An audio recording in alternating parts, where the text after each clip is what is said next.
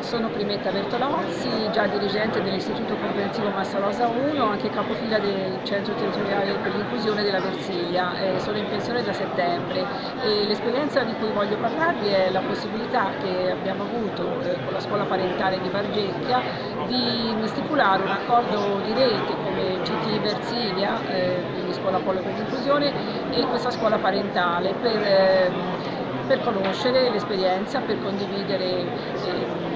insegnanti metodologie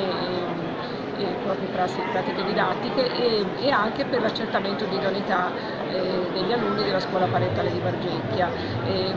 questo accordo prevede che ci siano scambi durante l'anno fra insegnanti della scuola parentale e della scuola pubblica. E,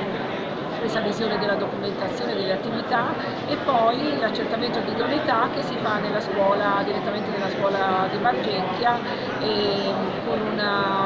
anche se possibile con la presenza di insegnanti Montessori perché questa è la metodologia prevalente che viene seguita. È un accordo che è stato stipulato anche con eh, il fascito dell'ufficio scolastico provinciale eh, di Lucca e, e che insomma praticamente ci, ci permette ecco, di, di, stabilire un, una proficua collaborazione, un'apertura, una conoscenza di questa esperienza particolare e anche eh, una contaminazione tra scuola pubblica e scuola parentale che può dare veramente arricchire l'offerta formativa di entrambi i settori.